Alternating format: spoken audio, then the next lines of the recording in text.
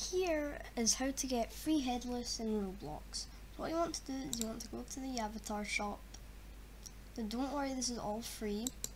And then you need City Life Woman.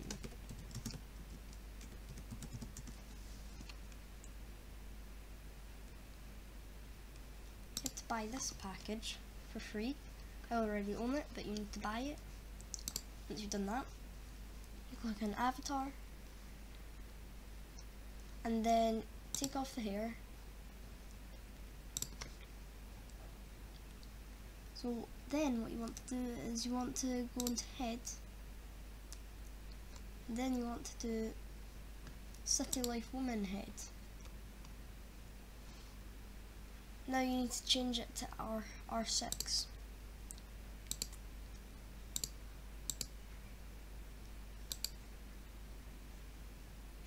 This will happen. Now what you need to do is you need to go into skin tone and go into advanced. Head black.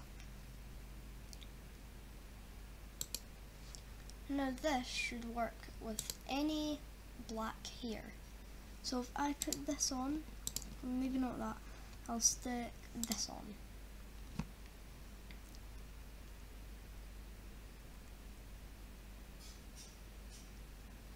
Not loading. Just put this on for now, and then if we load into a game, let's load into Ability Wars.